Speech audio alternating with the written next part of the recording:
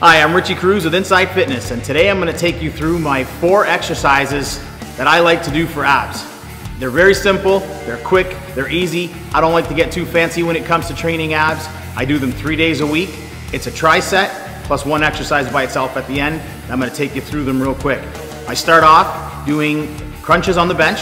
I'll do 25 crunches, followed right up by hanging leg raises, and I'll do 15 hanging leg raises and then I'll do 25 rope crunches. And I'll run through that tri-set. I'll take a rest for about 30 seconds, 60 seconds, depending on how I feel. And then I'll jump right back in again. I'll do that three times. At the end of the tri-set, I like to get a medicine ball and sit right on it. I like to get a broomstick and do the Russian broomstick twists.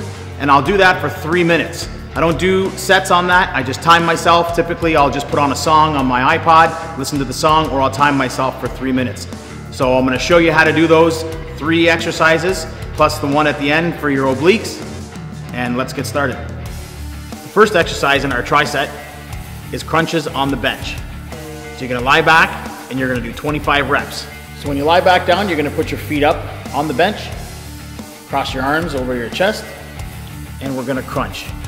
You don't want to come too high up off the bench. You just want raise up to your shoulders, come up, get that good contraction, feel it, and back down. Moving right into our second exercise here, we're gonna do a hanging leg raise. We're gonna focus on the lower abs. So you're gonna grab the bar, hanging.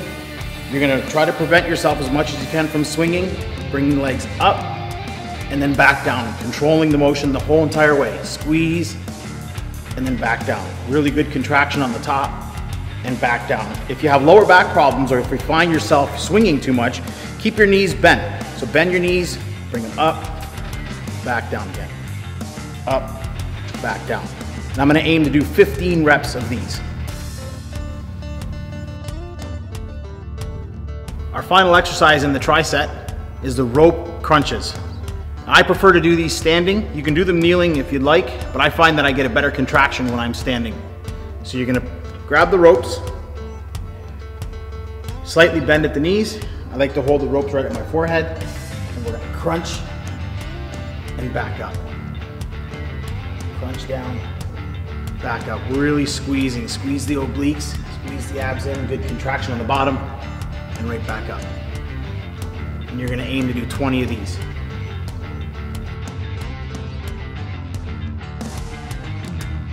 First three exercises we just completed are gonna be done in a tri-set, meaning one after another with no break in between.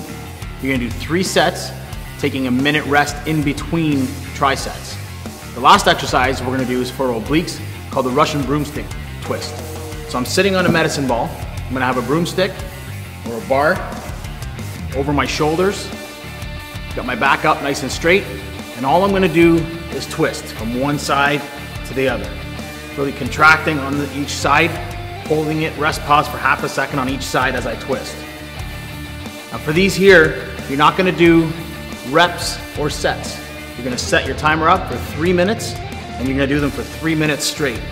One thing I like to do is put a, choose a song on my iPod and just listen to that song for the entire time and just do the entire exercise. And once the song's all done, you're all set. And that's it for my ab routine. So give these exercises a shot. Really work on them. Feel that core working. Squeeze the abs while you're doing them.